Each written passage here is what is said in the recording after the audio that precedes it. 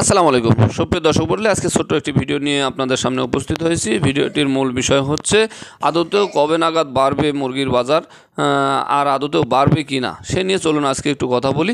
তো কথা বলার শুরুতে আমি বলতে চাচ্ছি যে, দর্শক মন্ডলী, আসলে কীভাবে বাড়বে? মুরগির বাজার বাড়বে কীভাবে? আর বাড়লে কত বাড়বে আর কীভাবে বাড়বে? আর কীভাবে আমরা লাভবান হব? এ দুশ্চিন্তায় আজকে খামারি যারা আছি, আমার মনে হয় আমি সহ আপনারা যারা আছেন, আমার মনে হয় ঘুম হারাম হয়ে গেছে। কারণ আজকে আমি যদি একটু হিসাব করি, একটু পিছিয়ে যাই, তাহলে এক বছর আগের হিসাব করেন এক বছর আগে যদি আমি একটু ফিরে যাই, তাহলে দেখতে পাবেন যে এক বছর আগে যেই মুরগির বাচ্চার দাম ছিল বিশ টাকা, বাইশ টাকা সেই পক্ষান্তরে আপনার খাদ্যের দাম ছিল একুশশো বাইশশো টাকা।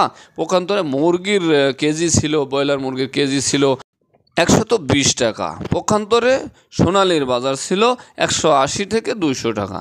কিন্তু আজকে এক বছরের ব্যবধানে সেই মুরগির বাজার কিন্তু একশত তিরিশ টাকা, দশ টাকা বৃদ্ধি আছে, একশত তিরিশ টাকা। আর সাথে সোনালির বাজার রয়েছে দুইশত দশ টাকা। তাহলে বাজারের ডিফারেন্স যদি দশ টাকা এক বছরের তুলনায় দশ টাকা মুরগির বাজারের বেশি। আর পক্ষান্তরে খাদ্যের মূল্যের কথা যদি বলি, তাহলে এক বছর আগে যে খাদ্যের মূল্য ছিল একুশশো থেকে বাইশশো টাকা, আজকে সেই খাদ্যের মূল্য হয়ে গেছে চৌত্রিশশো টাকা। আপনারা জানেন যে এক বস্তা খাদ্য মানে পাঁচশো এক বস্তা খাদ্যের দাম যদি চৌত্রিশশো টাকা হয়, আমার পাঁচশো মুরগি লালন পালন করতে কিন্তু তিরিশ বস্তা খাদ্য প্রয়োজন, মিনিমাম তিরিশ বস্তা খাদ্যের প্রয়োজন। সেই সাথে তিরিশ বস্তা খাদ্য যদি আমি আজকে খাওয়াতে যাই, তাহলে আমাকে অতিরিক্ত গুনতে হচ্ছে তিরিশ থেকে বত্রিশ হাজার টাকা। এই যে তিরিশ থেকে বত্রিশ হাজার টাকা আমাকে অতিরিক্ত গুনতে হচ্ছে, পক্ষান্তরে মুরগির বাজার কিন্তু সেই এক বছর আগের রেটই রয়ে গেল। তাহলে আদৌ কি আমার সম্ভব যে এই পাঁচশো মুরগি একজন ছোট খামারি পাঁচশো মুরগি লালন পালন করে কোনোভাবে এখান থেকে লাভবান হওয়া আপনাদের মাথায় রয়ে গেল। তো দর্শক মণ্ডলী, মূল কথা যেটা ছিল যে আদতে কখন বাড়বে, কবে নাগাদ বাড়বে মুরগির বাজার।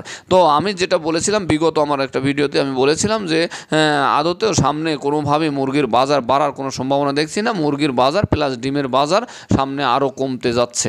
তো আজকে কিন্তু সেই পক্ষান্তরে ঠিকই সেই অবস্থান চলে এসেছে। ডিমের বাজার আরও কমেছে, মুরগির বাজার যেখানে গত সপ্তাহে ছিল চল্লিশ টাকা, আজকে তিরিশ টাকা। সেই সাথে সোনালী মুরগির বাজারের কথা যদি বলি, সোনালী মুরগির বাজার গত সপ্তাহে রেট ছিল দুইশো চল্লিশ টাকা, আজকে কিন্তু সেই মুরগির বাজার হয়ে গেছে দুইশত দশ টাকা।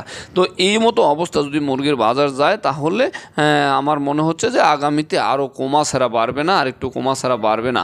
আর বাড়ার বিষয়টা যদি আমি বলি, তাহলে আপনি ভেবে নেন যে ফেব্রুয়ারি মাস শেষ হওয়ার আগ অবধি কোনোভাবেই মুরগির বাজার আর বাড়ছে না।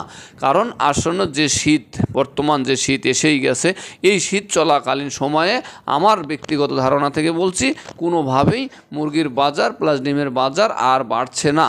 কারণ মার্চের আগে কোনোভাবেই আর ডিম মুরগির বাজার বাড়ছে না। তো সেই হিসাবে আমি আমার খামারি ভাইদেরকে বলব যে, অবশ্যই আপনারা একদম পাই টু পাই হিসাব করে যারা ইতিপূর্বে একটি সেটও যদি তুলে থাকেন, তাহলে আপনার একটা হিসাব এসে গেছে। সেই হিসাবটা আপনি কড়াই গন্ডায় করে হিসাব নিকাশ ভালো করে করে বাচ্চা ওঠাবেন এবং মুরগি লালন পালন করবেন, আসলে আদতেও এক মাস আটত্রিশ দিন খাটার পরে যদি পাঁচ হাজার টাকা ইনকাম না হয়, তাহলে সেই গাদা খাটি খেটে আমার লাভটা কি? সেই হিসাবটা আপনাদের মাথায় দিলাম যে আপনি মনে মনে ধরে রাখবেন যে মার্চের আগে কোনোভাবেই মুরগির বাজার আর বাড়ছে না।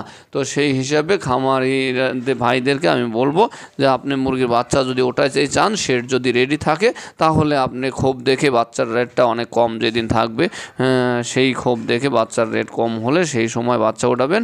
আর বাচ্চার আপনার যেই মর্লিটিটা কমাতে হবে, যদিও শীতকাল একটু মর্লিটি কম আসে সেই হিসাবে আপনি বাচ্চা ওঠাবেন। আজকের ভিডিওটি ভালো লাগলে লাইক দিবেন।